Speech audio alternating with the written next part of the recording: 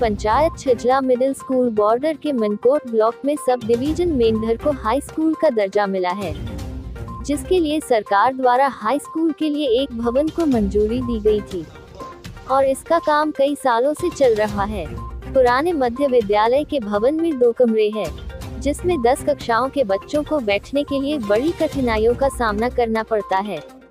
इस स्कूल में कम से कम 250 छात्र पढ़ते हैं। पीएनआई के लिए मेंढर से तारिक खान की report.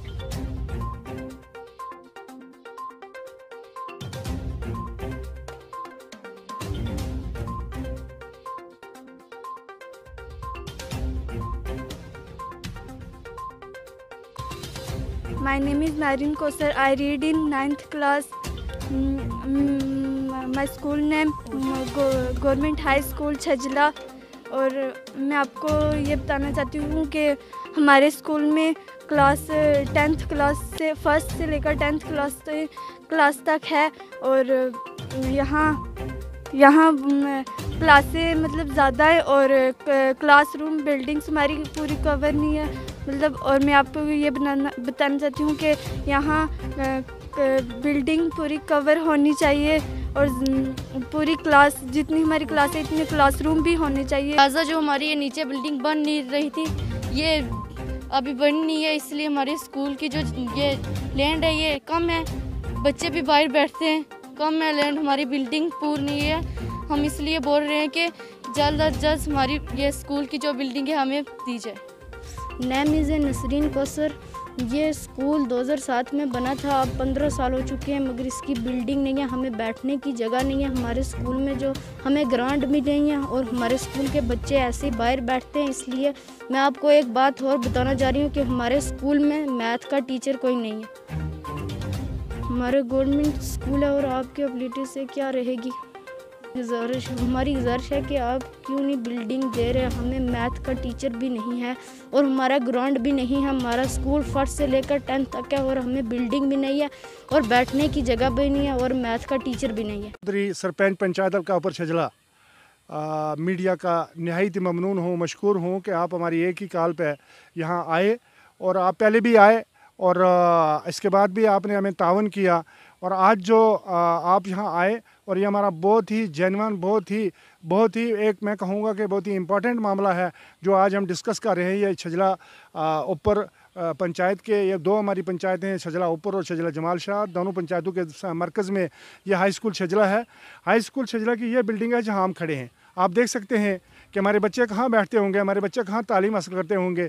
और आज भी इक्कीसवीं सदी में भी अगर हमारा ये हाल है तो मैं ये कहूँगा कि हमारी बदकिस्मती रही। तो मैं आज आपके ज़रिया, आप मीडिया के ज़रिया मैं एडमिनिस्ट्रेशन से गुजारिश करूँगा कि खसूस डी सी साहब जो पुंछ हमारे राहुल यादव साहब हैं, उनसे गुजारिश करूँगा कि वो इस पर जो दी गई फंडिंग है, उसके मतलब कि इंक्वायरी कंस्टिट्यूट करें, उसका पता लगाएँ। कि कितने पैसे इस पर लगे और ये प्लेंथ लेवल तक ही क्यों रुक गया? चौदह पंद्रह सालों में आगे क्यों नहीं बढ़ सकी? बिल्डिंग कंप्लीट क्यों नहीं हुई? तो मेरी एक गुजारिश है कि एडमिनिस्ट्रेशन से कि इस बिल्डिंग को जल्द अज जल्द कंप्लीट किया जाए, ताकि यहाँ हमारे बच्चे जो हैं खसूस हमारी बच्चियाँ, नौजवान बच्चियाँ हैं, वो बहुत खुले आसमान के तले क्या मेरे ख्याल से मैं ये अगर कहूँ तो हक बजानब होगा कि पंद्रह साल पहले इसकी टेंडिंग हुई थी। और आर एंड बी एजेंसी के ज़रिए इसको इसको जो कंस्ट्रक्शन करने के लिए जितना भी वर्क हुआ है यहाँ प्लेंथ लेवल तक, वो आर एंड बी ने किया है। एक कोई किसी ठेकेदार को अलर्ट था, ये बता सकते हैं महकमा वाले के इस पर कितना पैसा था और आगे क्यों नहीं बन सकी, ये तो महकमे बता सकता है। लेकिन जहाँ तक ये तल्लक है, इसका कि हमारे बच्चे कहाँ बैठते हैं हाई हाई क्लासेस के बच्चे जो हैं, ये साथ ही में हमारा स्कूल है जो पहले मिडिल स्कूल हुआ करता था, आज वो हाई स्कूल की क्लासेस भी वहाँ ही होती हैं। मिडिल स्कूल की क्लासेस भी वहीं होती हैं। मुझे आप खुद स्पॉट विज़िट कर दे सकते हैं कि वहाँ अकोमोडेशन बच्चों के लिए काफ़ी नहीं है। और ख़ास करके ये कोविड नाइन्टीन जब से शुरू हुआ, तब से तो बच्चों के लिए कशादा का अकोमोडेशन होना ज़रूरी था सोशल डिस्टेंसिंग का होना ज़रूरी था।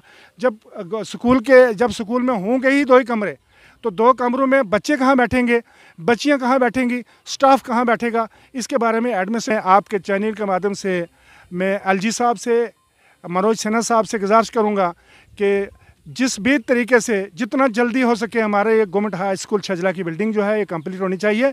मैं डीसी साहब, राहुल यादव साहब से भी रिक्वेस्ट करूँगा आपके माध्यम से कि राहुल यादव साहब, का एक दिन खदारा खुद आएँ विज़िट करें आके, देखें कि ये, क्या ये ये स्कूल जो है, ये हाई स्कूल बिल्डिंग के जो, जहाँ दो कमरों में बच्चे बैठे हुए हैं, क्या ये इंसाफ है? और जो बिल्डिंग नहीं बनी है, क्या ये ऐसे ही रहना चाहिए? आवाम के साथ इंसाफ है।